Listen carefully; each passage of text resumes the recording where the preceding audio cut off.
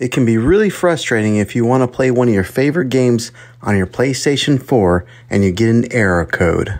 In today's tech video, I'm going to show you how to fix a PlayStation error code that comes up as CE-35406-8.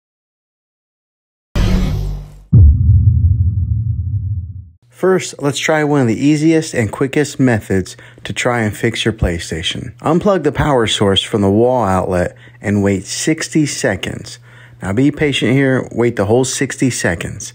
This is very different from powering down your PlayStation, so make sure that you try this method. If it works, great. If not, then let's move on to the next method. Second, let's make sure that you're getting internet to your PlayStation. So let's do a quick reset of the Wi-Fi. Find your router that is giving you internet and unplug that for 60 seconds and then plug it back in. When it reconnects, check your PlayStation then. If it doesn't work, then let's go ahead and move on to the last method. With this error code, the PlayStation Vita cannot be linked to the PlayStation 4 system for remote play as the accounts on the system are not the same. To use the remote play feature, the same PSN account must be linked to both systems. If you need to switch the PSN account on your PlayStation 4, then what you're going to want to do is you're going to select power, then go to switch user on the home screen. Only one PSN account can be linked to your PlayStation Vita. To link a new account, you'll need to restore your PlayStation Vita system. You can restore the system software to its default condition and delete all of the da data in its system storage by selecting format, then go to restore this system and then follow the on-screen instructions to complete the operation. Well, hopefully this video was helpful for you.